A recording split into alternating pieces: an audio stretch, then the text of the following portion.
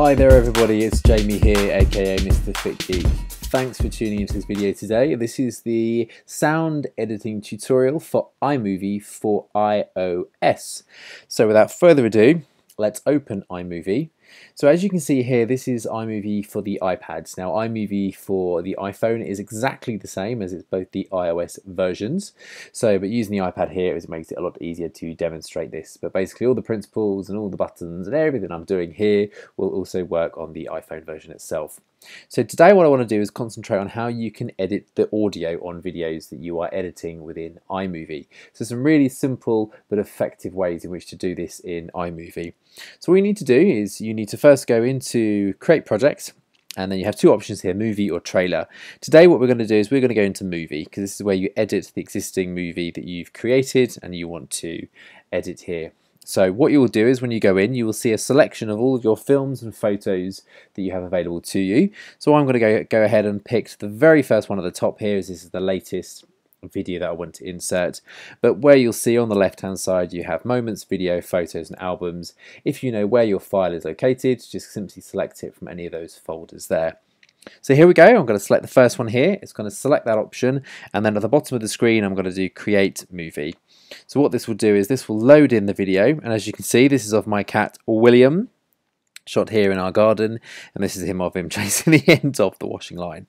But so what I want to do is, is, is directly edit just the audio from this video here and show you how to edit audio specifically and also how you can add elements of audio into your clip.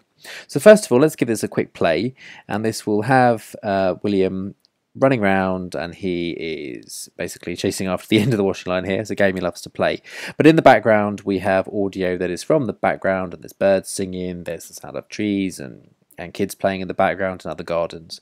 But what we need to do is simply click on the video in the timeline here and what this will do is it will color it yellow give it a yellow border and then you will see immediately at the bottom you are greeted with five separate options of, as to editing options within your video what we want to do is first of all click where it says detach audio so what this does is when you detach the audio, this will then bring up a separate timeline in the bar here. So what that's done is it's effectively removed the audio from the clip and allows you to edit that on a separate basis. So now you will see that where you have this blue line, and you can just use your finger to scroll back and forth, you can select the audio at any time and you'll know what part you've selected because it will have this yellow buffer here. So you can do various things like for example if you want to move your audio and put it at a different part of a video you can add um, you can simply hold your finger on it there and drag it to a different point um, along the video timeline here. So if you know you want to add it to a certain point in the video you can do so. So one of the first simple things that you can do is if you want to adjust the volume. So simply select the volume you got here and it will always sit at 100%. So this will play the volume at 100% of the volume of what you've recorded. Say for example though you want it much lower, you can simply slide the slider down, but actually it does allow you to go up to a whopping 500%. So if you really want to increase the volume of your clip, say if it was somewhere that was quite quiet or who the subject you've recorded is quite quiet, you can really bolster the volume of that clip there. We want to leave it 100% though. Ah, maybe let's leave it 102. How's that sound? There we go. Now, one of the other great options that you can do here is you might not want your audio to start immediately. You actually might want to fade in. And this is a really great thing that you can do here. So if you select fade, what you will see here is you will see a yellow arrow. You'll have one of these at the beginning and one of these at the end of your audio. Let's just worry about the one at the beginning here. Simply grab, grab that arrow, drag it to wherever you want that to stop. And then what you'll see is with this blue gradient that comes in here, that is effectively going to play your audio, but slowly fade it in up to your required volume level. You can then adjust this again at any point if you want it to fade in quicker or fade in slower. Uh, and it's completely your choice then. And what you can also do is, let's go to the end of our video timeline here, and then the same thing. You can also have one right at the end if you want to then fade out. Okay, so that's how you can adjust the volume in a basic way uh, on your existing volume. Now one thing that you also might want to do is add audio, you might wish to add a music or a soundtrack or some sound effects. So on the top right hand side you will see a plus icon. If you click on the plus icon there you have two options. You have media and you have audio.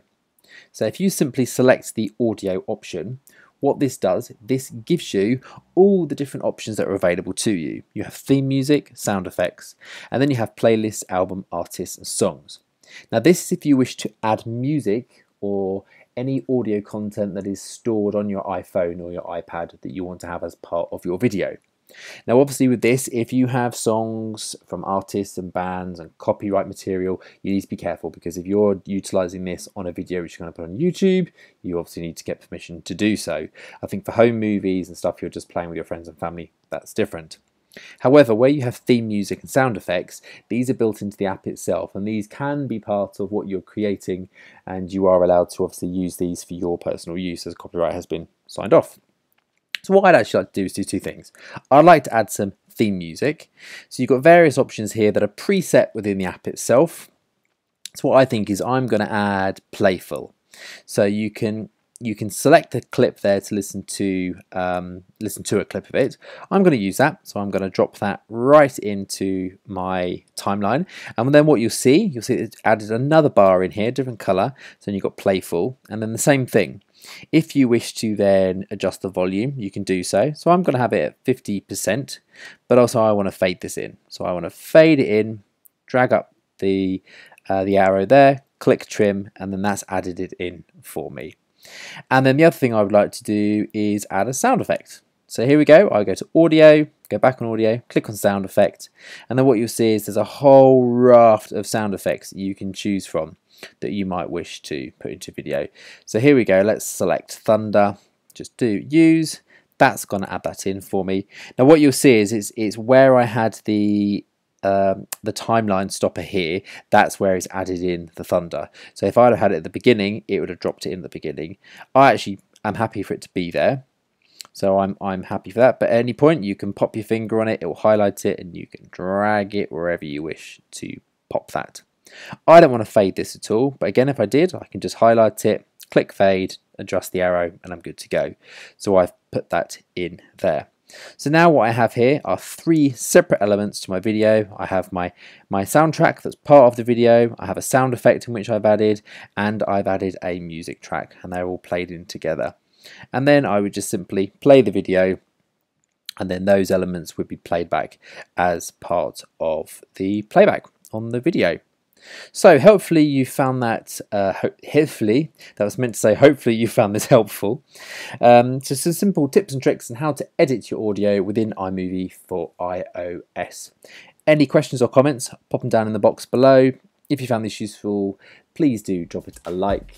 And of course, if you want to see more of this stuff, then do subscribe to my channel. That's it for now. Over and out from me and William. Thanks very much. Take care.